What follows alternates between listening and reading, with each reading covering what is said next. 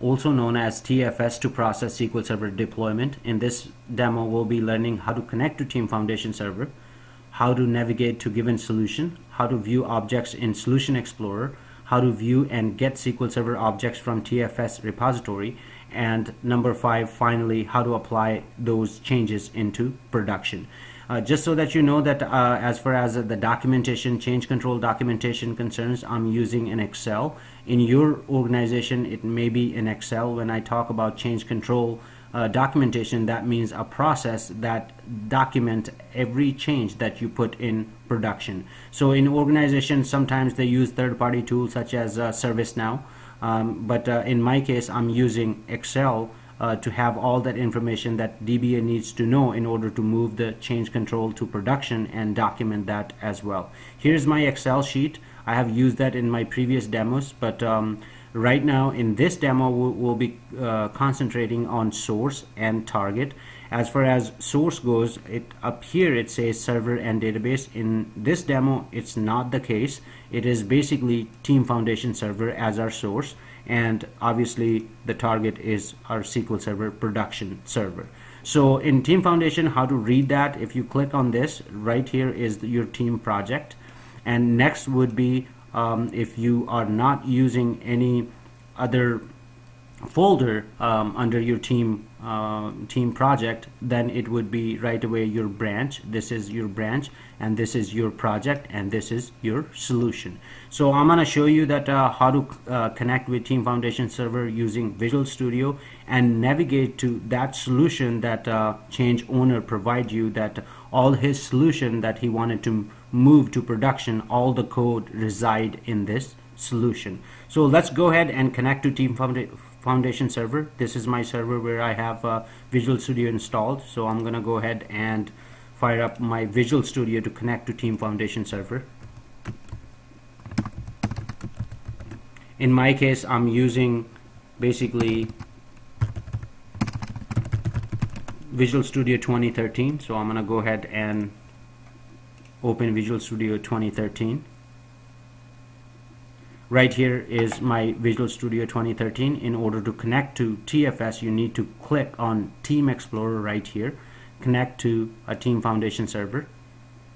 If you don't know how to connect to Team Foundation server you can watch my video that uh, basically it shows you uh, brand new that how you connect to Team Foundation server how you configure your Visual Studio to connect to Team Foundation server. But I'm already connected to Team, Team Foundation server. I'm going to go ahead and select team project right here and I'm going to show you one more time that how to connect to Team Foundation server. Right here is my uh, Tech Brothers TFS, but if you don't have anything, you can click on server and click on add right here. And you can put URL of your TFS in my case is Tech Brothers TFS and this is the port 8080 and backslash TFS you can just put the URL or the name of the server or TFS and rest will be taken care of if you're using different port for your TFS you need to change this port number right here. So once you're connected you can click OK and it'll appear right here. So you can go ahead and once it shows right here in Team Foundation server list you can go ahead and close that. And after that you can select from this drop down menu whatever the Team Foundation server you're connected to and it'll bring your Team Foundation uh, collection right here. In my case I have couple collection. One is default collection and other is finance project collection. So in my case it is uh, my solution explorer. I'm going to go ahead and connect with default collection. So I'm gonna go ahead and cl click connect.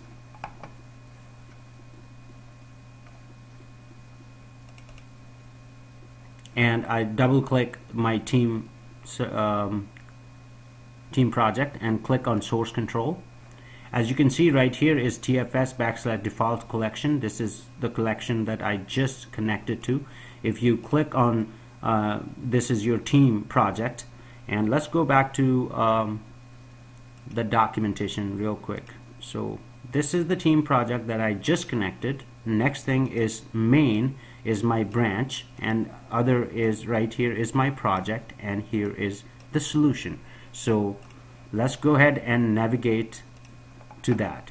So I'm going to go ahead and I have right here dev branch main branch and production. Main branch sometimes also called test branch in a lot of organization and production branch may be called release branch. Uh, the naming convention may change uh, from organization to organization but basic idea behind the scene is same. So I'm going to go ahead and navigate to main branch right here.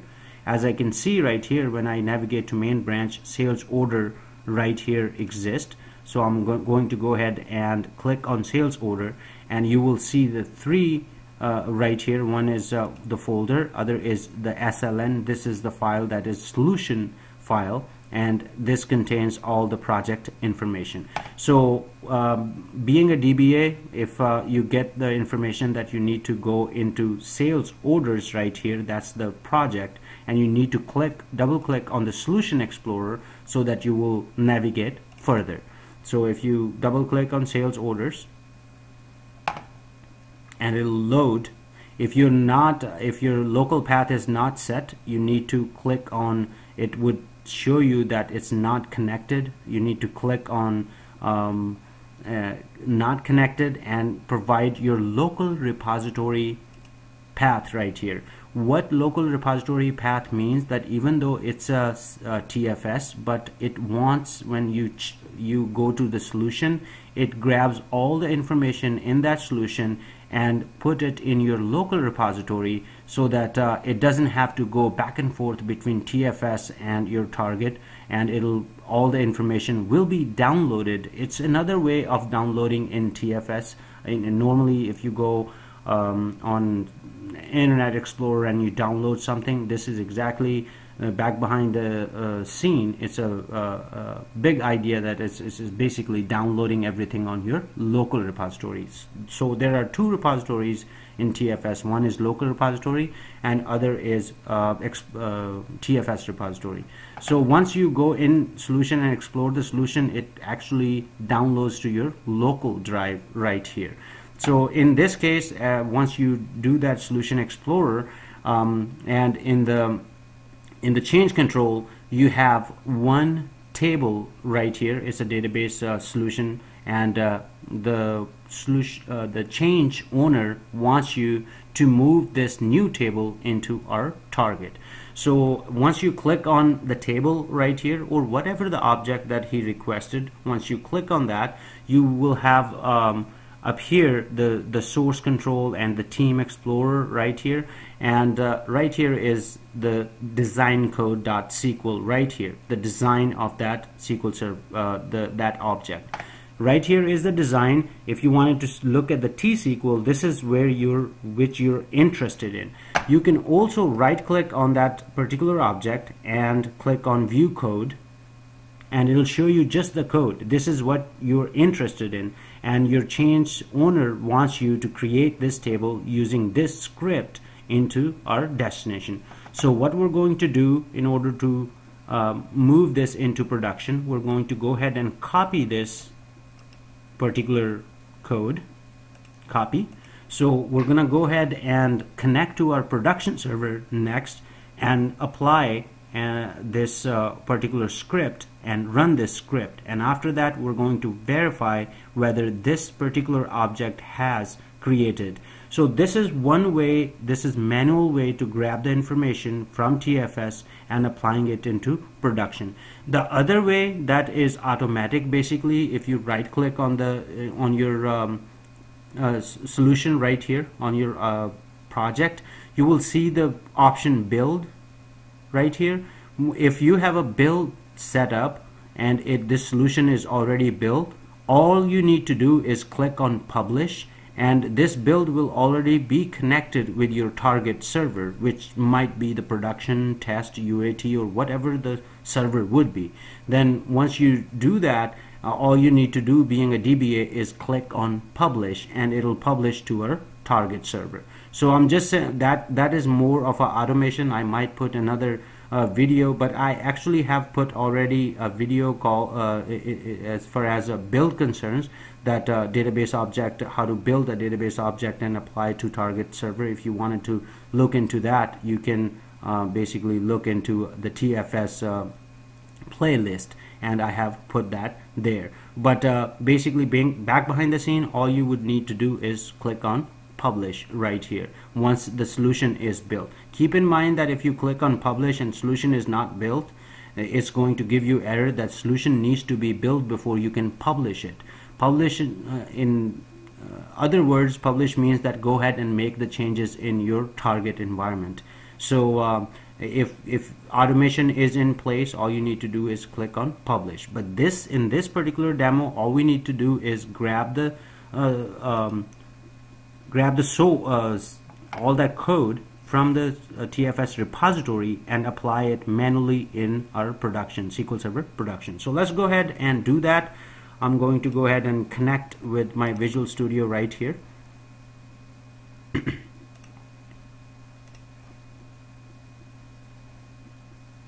And let's go back and see what is our target server in our right here. This is our target server. This is our um, SQL Server instance and this is our database sales orders so what we're going to do is basically connect with our target SQL Server and then connect with the database right here sales orders and apply that script.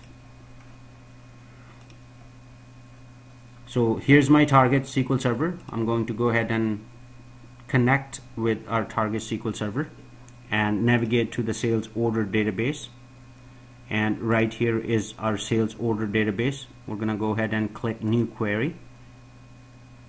And right click and paste that script. And as you can see that this is the same script that we grabbed from TFS all we need to do is go ahead and run this script.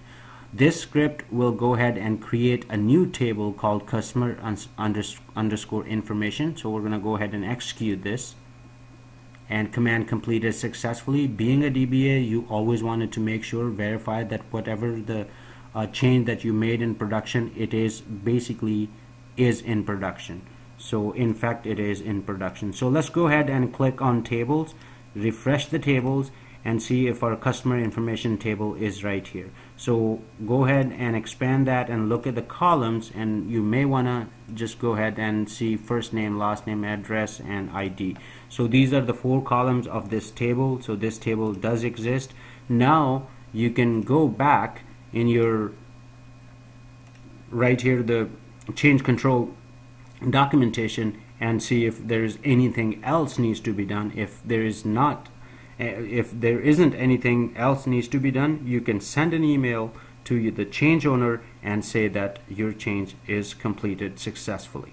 And you may want to go ahead and get the screenshot of this particular table right here that uh, in table list and point to this table that this table is created. So the change in production is completed. Please verify. I hope this little demo helps